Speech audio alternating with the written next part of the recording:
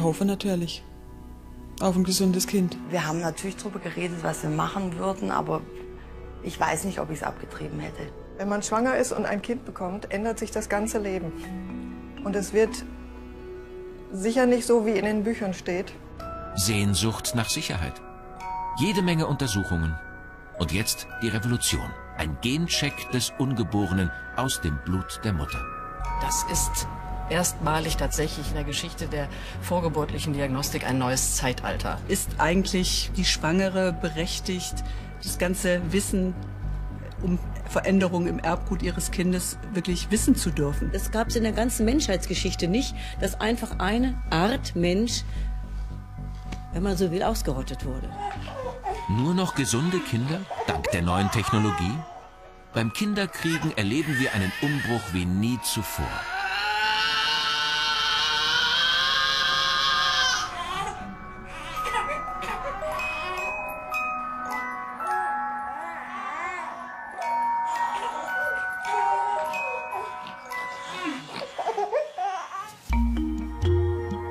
Alexandra und Marco erwarten ein Kind. Und dabei werden wir sie begleiten. Vor ihnen liegt eine aufregende Zeit. Ich habe bis jetzt zwei Töchter von siebeneinhalb und fünf Jahren und bekomme jetzt mein drittes Kind. Es wird aller Voraussicht nach ein Junge, was mich natürlich sehr neugierig macht, was sich jetzt dadurch verändert. Klinke, klinke. Klinke, klinke. Vorfreude. Aber auch die bange Frage, ist alles in Ordnung? Ich wünsche mir natürlich, wie alle Eltern auch, ein gesundes Kind. Ich habe ja zwei fantastische, gesunde Kinder und hoffe, dass es so gut geht wie die zwei Male zuvor. Beim ersten Kind war sie schon Ende 20. Damit liegt sie voll im Trend. Frauen werden bei uns immer später Mutter. Je älter sie werden, desto höher ist aber auch das Risiko für eine Behinderung beim Kind. Unten, ja? Bei meinen Töchtern war ich ja noch etwas jünger. Da hat sich diese Frage nicht so aufgedrängt mit diesen Fruchtwasseruntersuchungen und pränatalen Diagnostik-Sachen. Ähm, jetzt bin ich ja 35, also an der magischen Grenze zur Risikopatientin und habe mir da schon tiefer schürfende Gedanken dazu gemacht, aber wir haben das alles eigentlich abgelehnt. Wir hoffen natürlich auf ein gesundes Kind. Und wenn es nicht gesund ist, dann müssen wir das auch schaffen. Auf Alexandra kommt noch einiges zu. Freude und Lachen, aber auch Angst und Schmerzen. Wird sie ihre Entscheidung bereuen, es einfach drauf ankommen zu lassen?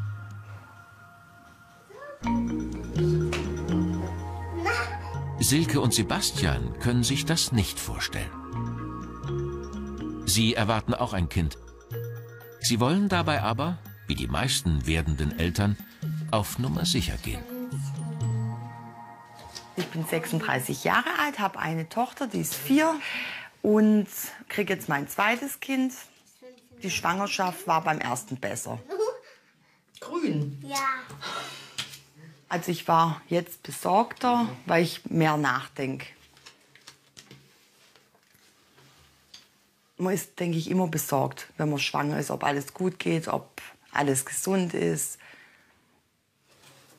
Emmas ungeborenes Geschwisterchen wollen sie deshalb möglichst genau untersuchen lassen.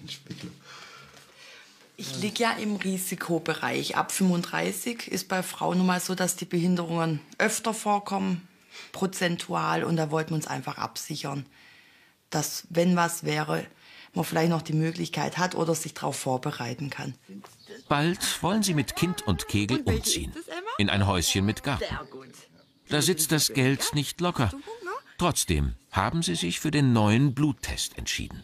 Ein teurer Test, der knapp 1000 Euro kostet. Ich hatte die normalen Ultraschalluntersuchungen, die man halt hat. Und ähm, von dem Test habe ich gelesen in einer Zeitschrift. Und weil ich selber Arzthelferin bin, habe ich auch davon erfahren, Damals bei Emma gab es es ja noch nicht, habe ich mir noch nicht so große Gedanken gemacht und jetzt habe ich irgendwie das Gefühl gehabt, dass ich wenigstens die Krankheiten ausschließen kann. Das ist natürlich nicht alles, was sein könnte, aber dass wenigstens mal das Down-Syndrom und die anderen ausgeschlossen sind. Sie soll die Behinderungen ausschließen. Saskia Biskup. Sie ist Ärztin, Humangenetikerin. Ihr Job? Sie schaut sich das Erbgut von Menschen an, um zu sehen, welche genetischen Risiken es für bestimmte Erkrankungen gibt. Dabei geht es oft um den geplanten Nachwuchs der Ratsuchenden.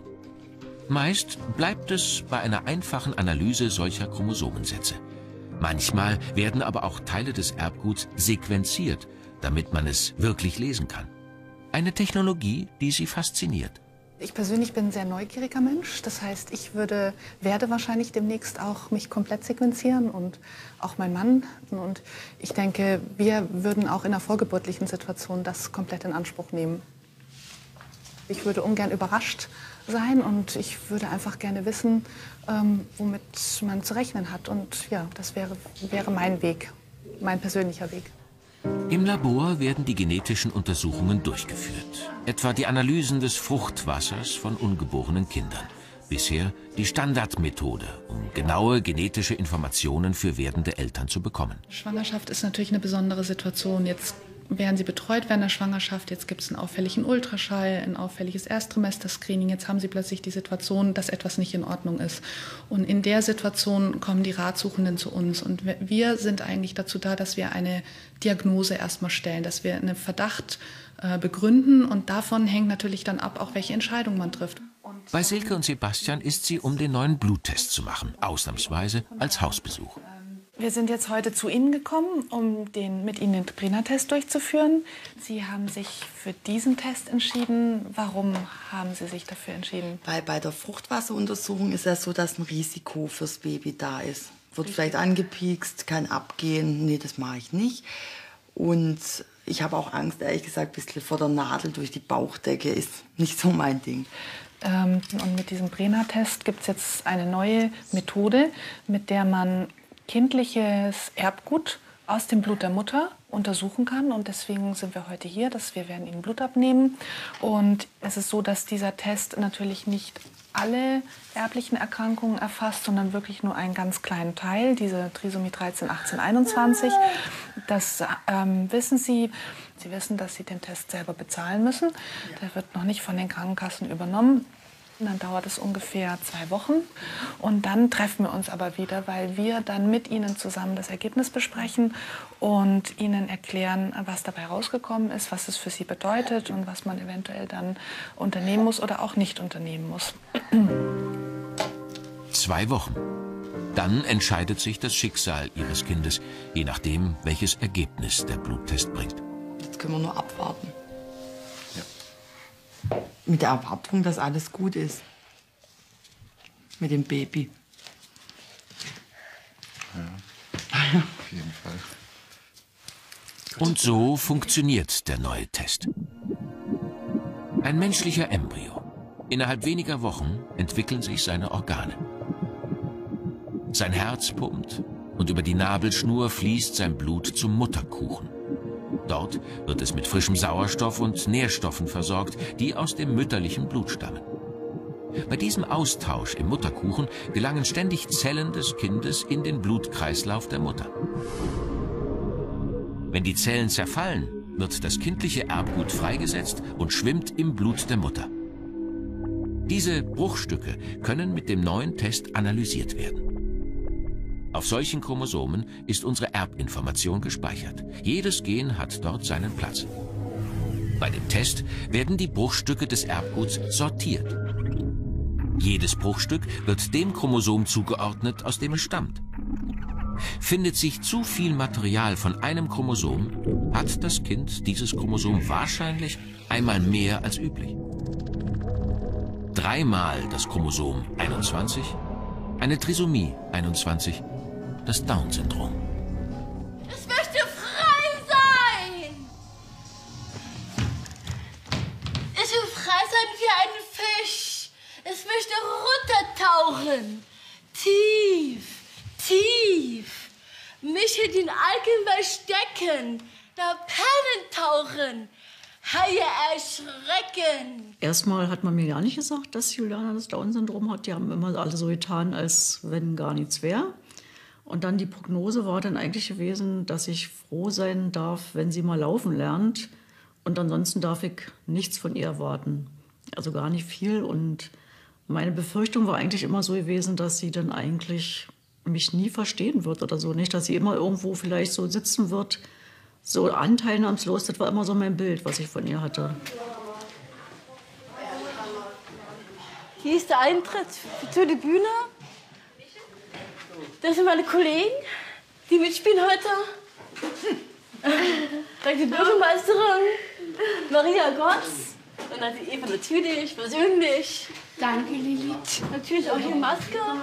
Hier bin ich vorbereitet für die Vorstellung. Ich bin mit der Bürgermeister. Ich bin gerade hier beschminkt. So, hier ist die Treppenbühne. Wir kippen rauf und rutscht man. Also wenn ich sage, ich will frei sein wie ein Fisch, dann, ich, rutsche ich da zweimal. Natürlich, also nochmal. Wir haben schon oft gespielt, aber ein bisschen nervös ist man schon vorher, weil jetzt kommt die Spannung von den Zuschauern, aber ich bin daran gewöhnt. Ich bin eigentlich die Rattensau eigentlich, also wir alle natürlich.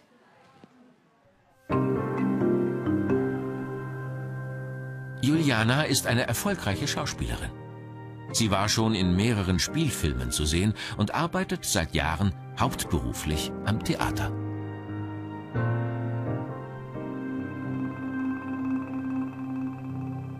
Ich habe eigentlich nie gedacht, dass Juliana so wird, wie sie heute ist. Also ich könnte mir keine schönere und keine bessere Tochter vorstellen, wie sie ist. Hm. Der neue Bluttest hat das Down-Syndrom im Visier. In Dresden ist die Technologie das Thema auf einer großen Konferenz der Humangenetiker. Denn bislang waren Genuntersuchungen am Ungeborenen immer mit einem riskanten Eingriff verbunden. Das ist erstmalig tatsächlich in der Geschichte der vorgeburtlichen Diagnostik ein neues Zeitalter. Wir blicken hier auf eine Möglichkeit, die uns ungeahnte Informationen über das ungeborene Kind geben, ohne dass wir dafür an das Kind selbst herantreten müssen. Und das ist schon eine radikale Erneuerung in der vorgeburtlichen Medizin. Gleichwohl sehen hier viele den Bluttest auch kritisch. Der zielt vor allem auf die Trisomie 21, weil sich das wirtschaftlich lohnt. Der Hersteller verdient. Die schlecht bezahlte Beratung bleibt dagegen an den Ärzten hängen. Und da gibt es vor allem ein Problem. Genetische Abweichungen wie das Down-Syndrom kann man nicht heilen. Im Hinblick auf Erkrankungen, die therapiert werden können, gibt es sowieso nur wenig genetisch bedingte Erkrankungen, wo man wirklich eine Therapie anbieten kann. Auch das ist, glaube ich, den Eltern vorher nicht wirklich bekannt. Sie können, wenn Sie einen Pränatalbefund haben, im Grunde nicht viel tun. Die Frage der Schwangerschaftsabbruch steht dann zur Diskussion. Und das ist für viele, die so einen Test in Anspruch nehmen, dann im Grunde die einzige Konsequenz. Für werdende Eltern der Albtraum. Schwangerschaftsabbruch, ja oder nein? Hilfst du mir? Eine ganz grundsätzliche Entscheidung, die jedes Paar, jede Frau für sich persönlich treffen muss. Alexandra hat sich damit intensiv auseinandergesetzt. Man sollte Fragen nicht stellen, deren Antwort man vielleicht nicht ähm, verkraften kann, beziehungsweise ähm, wenn ich die Antwort kenne, dass ich eigentlich nichts mache, außer dass ich die letzten fünf Monate weiß, dass ich ein behindertes Kind erwarte, dann hat das für mich keinen Sinn. Wir bekommen ein Kind und ähm, ob das Kind dann gesund ist oder krank ist, ähm, wird vielleicht auch die Natur mit eingreifen während der Schwangerschaft.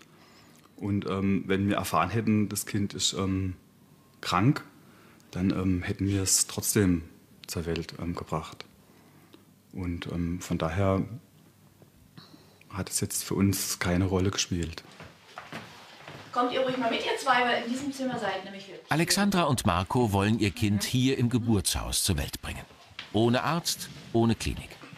Nur mit ihrer Hebamme Sabine Clark, die seit Jahrzehnten Frauen bei der Geburt betreut. Ich denke, der Trend geht ganz stark dahin, immer mehr zu untersuchen, immer genauer und auch immer früher zu untersuchen. Und Ich denke, Auswirkung ist tatsächlich, dass immer mehr Frauen äh, sich immer weniger zutrauen, sehr früh eine Verbindung zu ihrem Kind aufzunehmen, immer weniger sich trauen, auch wirklich so, wie man immer so schön sagte, gute Hoffnung zu sein, einfach zu vertrauen, dass es mit dieser Schwangerschaft gut gehen wird. Und hier seid ihr im Kindergarten immer. So geht es auch Silke. Vor gut zwei Wochen hat sie den neuen Bluttest gemacht. Das Ergebnis steht noch aus. Was sind das für Löcher da? Wohnen da Mäuse drin? Sie ist schwanger. Es ist ein Wunschkind, aber es ist unklar, ob sie ihr ungeborenes Kind überhaupt jemals auf die Welt bringen wird. Was hast du da? Natürlich macht man sich Gedanken. Man ist natürlich angespannt. Probiert es zu verdrängen, aber jetzt hoffen wir, dass uns ein gutes Testergebnis bringt, oder? Und dann sieht man weiter, falls was wäre. Die Stunde der Entscheidung naht. Für Silke und Sebastian geht es jetzt um alles. Um ihr Wunschkind, um ihr weiteres Leben. Hallo. Die Humangenetikerin Saskia Biskup hat die Blutprobe analysieren lassen. Jetzt bin ich heute da, um Ihnen das Ergebnis zu übermitteln. So, jetzt sind Sie ein bisschen aufgeregt. Ganz arg. Ja. Ja, also, ich habe Ihnen die freudige Mitteilung zu machen, dass äh, der Prena-Test äh, komplett unauffällig ist. Es ergibt sich überhaupt kein Hinweis auf eine Trisomie 13, 18, 21.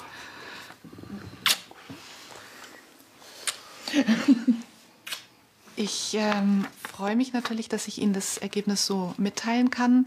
Ich möchte trotzdem noch einmal darauf hinweisen, dass ja auch ähm, im weiteren Verlauf das beobachtet werden sollte. Und also es ist auch kein, kein nach wie vor kein Freifahrschein für ein gesundes Kind. Das Ja, haben wir das auch anfangs ja. besprochen. Mhm. Aber ja, jetzt können Sie sich erstmal zumindest Ja. freuen. Auf jeden Fall. Wir haben natürlich darüber geredet, was wir machen würden, aber ich weiß nicht, ob ich es abgetrieben hätte. Ob ich es. Darüber haben wir uns jetzt nicht so Gedanken gemacht. Schon, aber ich hätte es jetzt nicht sicher sagen können, wäre der Test nicht positiv, also negativ gewesen, ob wir es gemacht hätten oder nicht. Eine Garantie für ein gesundes Kind ist das Testergebnis gleichwohl nicht. Von 100 Kindern, die geboren werden, haben vier eine wie auch immer geartete, erblich bedingte Erkrankung. Von diesen vier Kindern mit einer Abweichung können durch die ganzen Untersuchungen aber nur ein bis zwei entdeckt werden. Die anderen zwei werden übersehen. Die Tests sind unauffällig und trotzdem hat das Kind etwas. Absolute Sicherheit gibt es nicht. Bei aller Sorge sollten werdende Eltern aber nicht vergessen, 96 von 100 Kindern kommen einfach so gesund zur Welt. Die Pränataldiagnostik boomt trotzdem. Und das nicht erst seit der neue Bluttest auf dem Markt ist. Standard seit langem Ultraschalluntersuchungen. Dabei schauen die Ärzte vor allem nach dem Wachstum des Kindes. Aber auch die einzelnen Organe können beurteilt werden. Mitunter kann dann etwas für das Kind getan werden. Meistens führt die Pränataldiagnostik dazu, dass Ängste ausgeräumt werden und dass die Situation für das Kind optimiert werden kann und damit einfach mehr Gesundheit geschaffen werden kann durch das Ergebnis der Pränatalmedizin. Beim Ersttrimester-Screening werden einige Blutwerte bestimmt und die Nackenfalte per Ultraschall gemessen. Das kann Hinweise auf das Down-Syndrom bringen. Und auch der Fehlbildungsultraschall sucht nach Behinderungen. Manchmal stellen wir allerdings Zustände oder Krankheiten fest, die so schwierig sind und so schwer zu verkraften für die Eltern, dass ein Schwangerschaftsabbruch als Endergebnis herauskommt. Dass am Ende möglicherweise ein Schwangerschaftsabbruch steht, wissen auch Michael und Natalia. Auch sie erwarten ein Kind. Ich bin 38 Jahre alt. Das ist meine zweite Schwangerschaft. Und mein Sohn ist schon zehn Jahre alt. Also jetzt habe ich mich für zweites Kind entschieden. Und äh, natürlich äh, habe ich gewusst, dass in diesem Alter also gibt es ein also erhöhtes Risiko, ein krankes Kind zu bekommen, also zum Beispiel mit Down-Syndrom. Deswegen habe ich mich für diese Untersuchungen entschieden. Die Schuhe bitte noch mal ausziehen und noch mal auf die Liege legen. Sie wollen eine Fruchtwasseruntersuchung machen lassen. Noch immer das Standardverfahren für genetische Untersuchungen des ungeborenen Kindes. Bis zum Ergebnis ist Natalia gewissermaßen schwanger auf Probe. Zu meinem ersten Kind habe ich, äh, ich habe sofort gefreut und habe im Kopf schon irgendwelche Vorstellungen gehabt, was kaufe ich für ihn und sowas. Und jetzt mache ich das nicht. Also bin ich irgendwie zurückhaltend, weil ich, ich weiß nicht, was auf mich kommt. Ja. Am Anfang steht eine normale Ultraschalluntersuchung. Dabei sucht Regina Rasenack bereits nach einer geeigneten Stelle für die Punktion. Im vierten Schwangerschaftsmonat ist das Kind bereits recht groß. Da ist das rechte Händchen, das machen wir uns ein bisschen größer. Und dann sieht man hier den Daumen, Zeigefinger, Mittelfinger, Ringfinger und kleinen Finger. Und der Daumen ist hier ziemlich nah am Mund. Und manchmal sieht man auch, wie das Händchen dann da tatsächlich in den Mund reingeht und das Kind um die Zeit schon am Daumen nuckelt. Dann kommt die Nadel. Nicht erschrecken, es gibt einen Pieks. Bisschen unangenehm. Genau. Alles locker lassen, normal weiteratmen. Jetzt nochmal einen Stich in der Tiefe. Schieb mal ein bisschen, ich glaube, ich bin schon. Ja, ist alles gut. Kommt nichts Schlimmes mehr. Das ist das Fruchtwasser, in dem das Kind in der Gebärmutter schwimmt. Nadel ist schon da, wo sie sein soll. Darin finden sich Zellen des Kindes, die später im Labor genetisch untersucht werden können. Vorteil der Fruchtwasseruntersuchung? Es können alle möglichen genetischen Untersuchungen gemacht werden, nicht nur einige wenige wie beim neuen Bluttest. Der Nachteil? Durch die Punktion kann eine Fehlgeburt ausgelöst werden. Gut. Fertig. Das war's.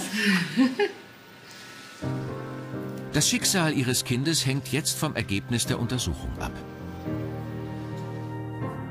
Nach der Fruchtwasserpunktion soll Natalia noch etwas ruhen. Vor den beiden liegt jetzt eine bange Wartezeit. In knapp zwei Wochen erst ist das Ergebnis da. Man muss entscheiden einmal. Oder wird alles in Ordnung oder wird alles schlecht im weiteren Leben.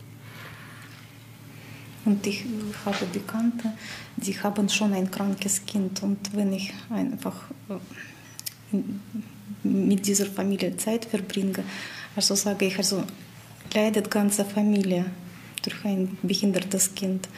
Also deswegen kann ich mir also sowas für mich nicht vorstellen.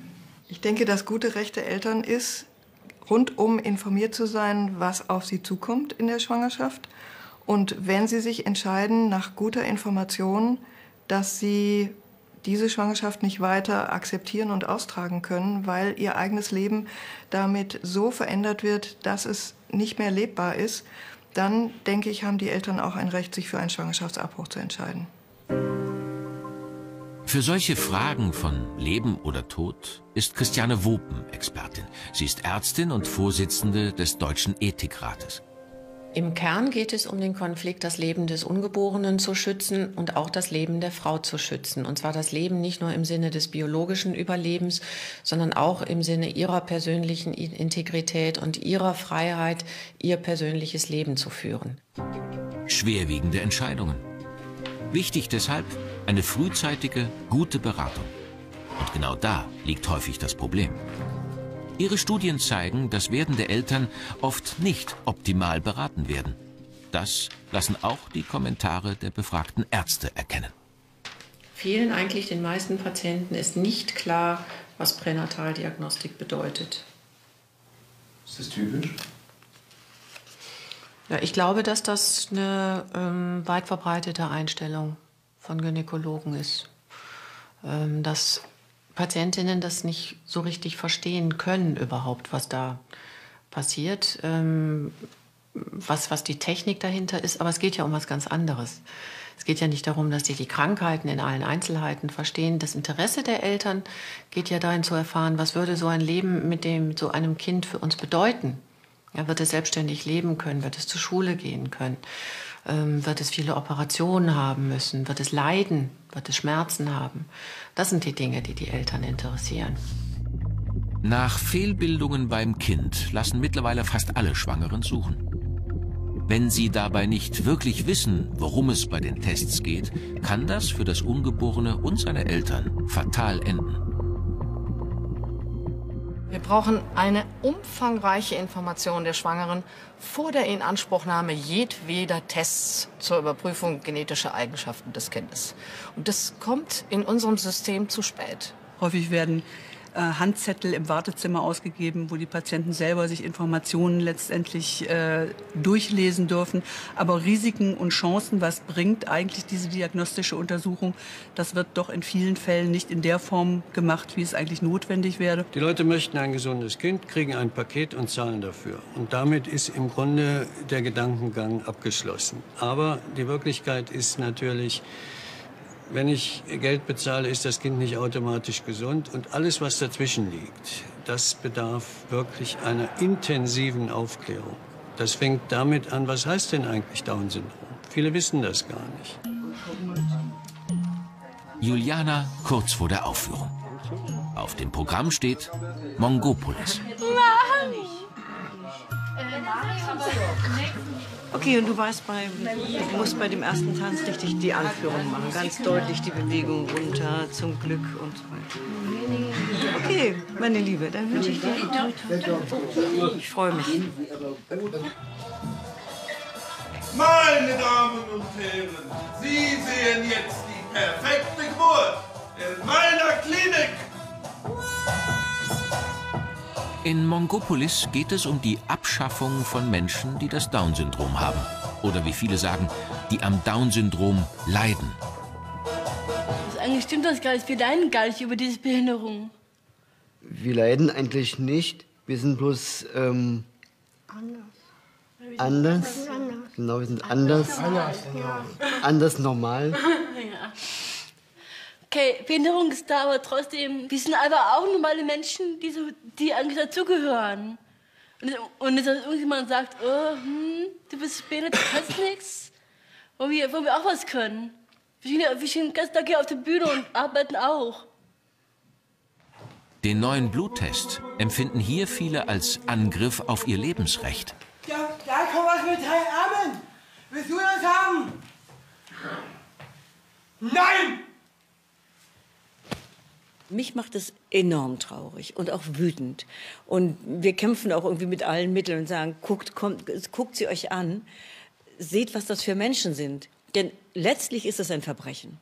Es ist eine Art Menschen, die besonders sind, die auch zu definieren sind über dieses Down-Syndrom, über die Trisomie. Und die gibt es einfach dann nicht mehr. Ich finde das unerhört. Das gab es in der ganzen Menschheitsgeschichte nicht, dass einfach eine Art Mensch wenn man so will, ausgerottet wurde. Aha. Ich vermute Dr. Daumanter. Er hält Ausschau Ich hält Ausschau nach Unperfekten. nach Unbefetten. Und wenn er kranke und schwächliche Exemplare findet, erleichtert er ihnen den Tod. Erleichtere ich Ihnen den Tod. Wenn ich es bei Juliana damals gewusst hätte, also, tja, nee, ratlos. Schon ratlos, also. Ja, wenn ich es damals gewusst hätte, hätte ich Moritz nicht bekommen. Ich war gerade Schauspielerin geworden und äh, das endete ja dann auch. Das ist ganz klar, das, einen Beruf kann man dann nicht weiter ausüben, jedenfalls damals im Osten nicht. Aber ich wusste auch wenig. Ich wusste einfach wenig. Mit meinem Wissen heute hätte ich das Kind bekommen. Werden künftig wirklich kaum noch Kinder mit Down-Syndrom geboren werden? Vieles deutet darauf hin.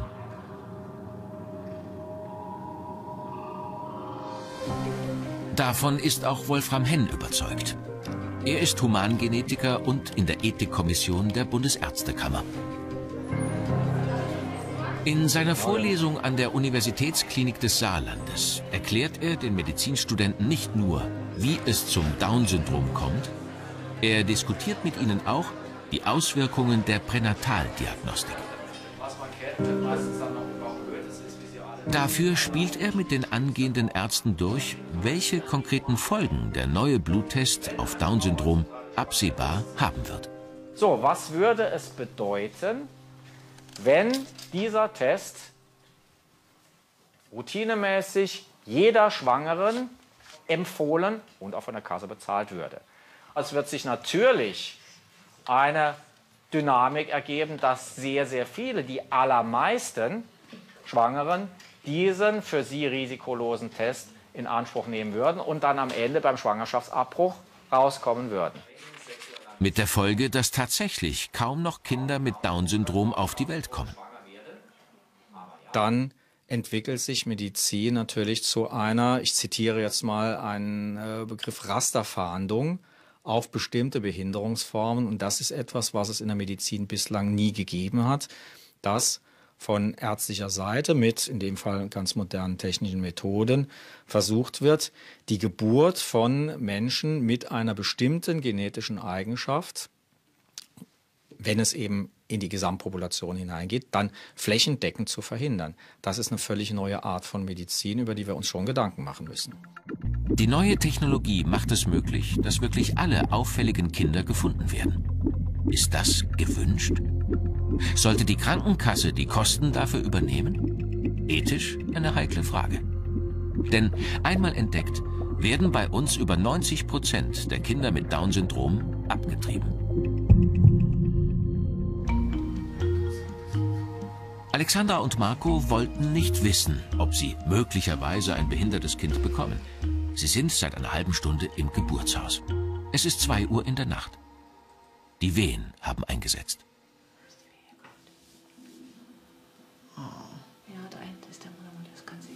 Hebamme Sabine ist zufrieden. Das Kind liegt gut. Alexandra soll sich etwas bewegen. Es ist ihre dritte Geburt, aber anders als erhofft, wird es wohl keine schnelle werden. Über Stunden, Ruhephasen und dann wieder Wehen. Äh.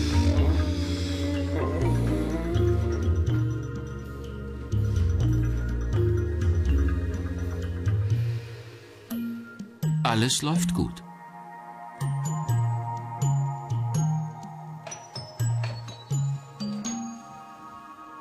Bis es plötzlich Probleme gibt.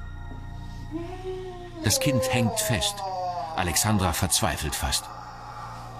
Halt, halt, halt, stopp. Ganz ruhig. Nicht erschrecken.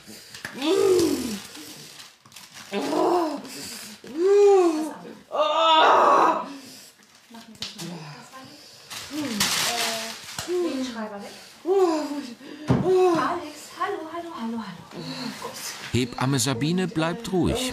Aber bekommt das Kind jetzt noch genug Sauerstoff?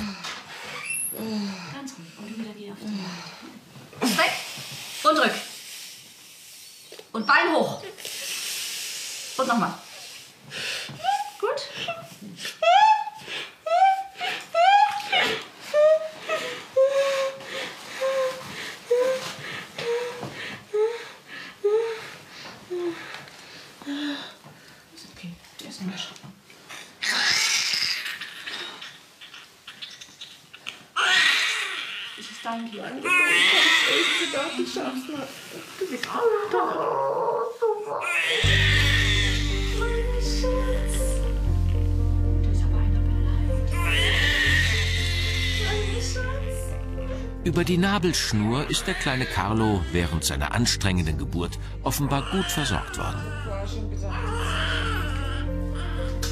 Keine Anzeichen für einen Sauerstoffmangel.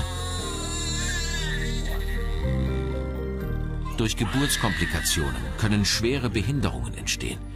Ein Risiko, das sich mit keiner vorgeburtlichen Untersuchung wirklich beherrschen lässt. Überhaupt können Verfahren wie der neue Bluttest in Wahrheit nur sehr wenig gegen das Risiko einer Behinderung beim Kind ausrichten.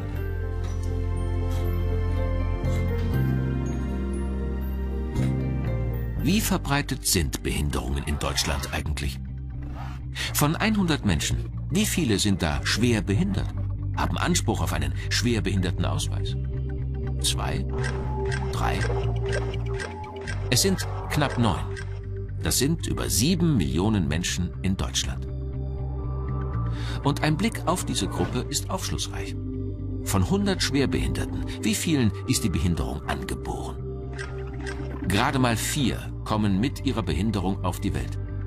Die meisten Behinderungen sind nicht angeboren. Man erwirbt sie vielmehr im Lauf des Lebens. Natalia und Michael, gut zwei Wochen nach der Fruchtwasserpunktion. Diese Sorgen sind noch da, weil ich habe noch kein Ergebnis. Die Sorge, dass bei dem Kind eine genetische Abweichung, eine Behinderung gefunden wird, wie etwa das Down-Syndrom. Wenn es wirklich krank, dann muss ich äh, wahrscheinlich um, eine, um einen Abbruch also Gedanken machen und natürlich versuche ich irgendwie also mich nicht mit dem Kind also so stark binden, sage ich. Ihre ganze Hoffnung ruht jetzt auf diesem Brief. Das Ergebnis der Fruchtwasseruntersuchung.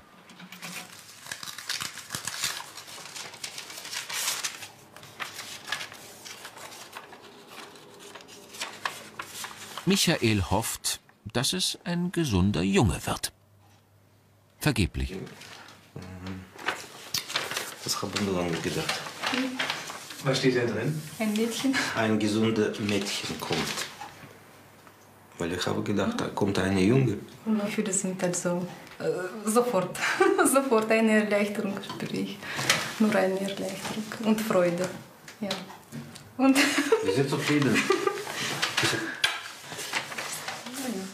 Also das muss natürlich jeder selbst entscheiden, äh, ob es wird gemacht oder nicht gemacht. Aber wenn es noch einmal sowas wie diese Situation passiert bei mir, so würde ich machen.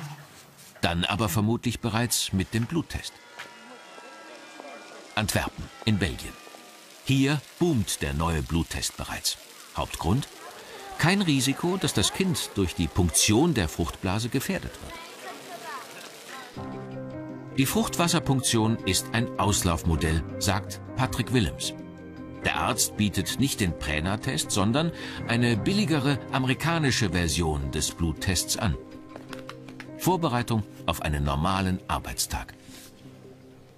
Patients are coming in one by one. We take about Die Patienten kommen, wir reden etwa 15 Minuten über den Test, dann gehen sie runter zur Blutabnahme. Sie nehmen so eine Box mit den Blutröhrchen, die können wir dann direkt per Express ins Labor schicken. Das sind die Patientenbögen. So, wir können loslegen. Das Geschäft läuft offenbar gut. Die Paare kommen aus Frankreich, Belgien, den Niederlanden. Ja, ich bin 39 und ich habe schon eine kleine zu Hause von zwei.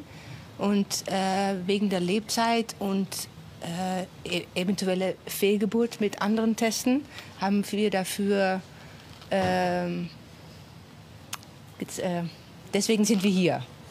Und äh, ja, wenn es, wenn es äh, nicht gut ist, ja, das ist hart, aber man ist egoistisch. Und deswegen sind wir hier, weil wir möchten das einfach gerne wissen. Während sie zur Blutabnahme gehen, ist schon das nächste Paar bei der kurzen Beratung. My sister has Down syndrome. Meine Schwester hat das Down-Syndrom. Und ich möchte wissen, ob mein Kind das auch hat. Und wenn es so ist, würden wir abtreiben. Weil es ist sehr schwer als Eltern. Ich habe das so oft gesehen. Und ich möchte das nicht. No, Ich möchte so ein Kind nicht. I don't want such a child. No. In ganz Deutschland werden derzeit pro Woche gerade mal rund 120 Präna-Tests gemacht.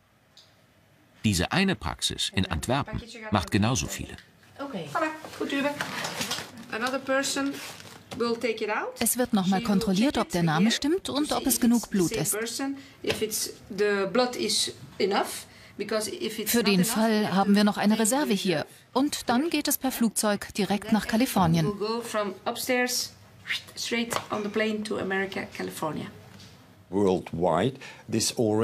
Weltweit ist das schon jetzt der wichtigste Test. Mehr als 2000 Frauen nutzen ihn täglich. Und die Mehrheit der Frauen nutzt ihn wegen dem Down-Syndrom, weil das ihre Hauptsorge ist. Aber auf lange Sicht wird es sicherlich eine viel umfangreichere Untersuchung werden. Das ist kein fernes Zukunftsszenario. Rein technisch gibt es kaum Grenzen. Der Bluttest auf Down-Syndrom ist dann noch vergleichsweise primitiv. Schon jetzt ist es technisch möglich, bei einem ungeborenen Kind alle Chromosomen zu untersuchen. Also das gesamte Erbgut. Ohne das Kind durch einen Eingriff zu gefährden. Einfach mit einer Blutprobe der Schwangeren. In deren Blut finden sich alle Bausteine des kindlichen Erbguts. Diese Puzzleteile richtig zu sortieren, ist zwar noch recht aufwendig, aber es ist machbar und Forschern bereits mehrfach gelungen. In wenigen Jahren schon dürfte das ein Routineverfahren sein, mit gewaltigen Auswirkungen. Wenn das gesamte Erbgut des Ungeborenen zur Verfügung steht, kann es auch komplett untersucht werden. Was, wenn das Kind etwa das Brustkrebsgen trägt? 80% Wahrscheinlichkeit für eine Brustkrebserkrankung im späteren Leben. Oder eine Veranlagung für Darmkrebs, Alzheimer, Diabetes, Übergewicht. Schwangerschaftsabbruch. Bei vielen Auffälligkeiten im Erbgut wird zudem nicht klar sein, ob sie überhaupt konkrete Auswirkungen haben. Untersuchungen auf Krankheiten, die erst spät im Leben auftreten, wie die Huntington-Krankheit, sind bei uns an Ungeborenen verboten. Weltweit werden sie trotzdem angeboten werden. Die Zukunft die schöne neue Welt. Sie hat, von vielen unbemerkt, längst begonnen. Ich fürchte, dass wir als deutsche Ärzte, auch wenn wir das nicht begeistert aufnehmen, irgendwann dann auch solche Zettel auf den Tisch bekommen werden, wo es heißt, ich habe eine Blutprobe in die USA geschickt oder nach Island oder nach Russland oder wo das dann gemacht wird. Und jetzt heißt es, mein noch ungeborenes Kind hat ein fünffach erhöhtes Risiko für Darmkrebs und könnte etwas wahrscheinlicher Alzheimer bekommen als ein anderes Kind. Dafür ist es relativ musikalisch. Jetzt bin ich völlig verzweifelt. Was soll ich mit meiner Schwangerschaft anfangen? Das wird auf uns zukommen. Diese Entwicklung wird sich nicht aufhalten lassen. Wir können nur entscheiden, wie wir damit umgehen. Für den einen ist es richtig, alles genau wissen zu wollen und er kann sich dann irgendwie vielleicht eine Liste abhaken, die ihn dann so beruhigt, dass er einen sehr positiven Schwangerschaftsverlauf dadurch hat. Man muss seinen eigenen Weg finden und das wird der richtige Weg dann sein. Für uns war es der richtige Weg. Den richtigen Weg finden. Für Eltern wird das künftig schwieriger werden. Angesichts der Verlockung, schon so vieles über das Kind vor der Geburt erfahren zu können.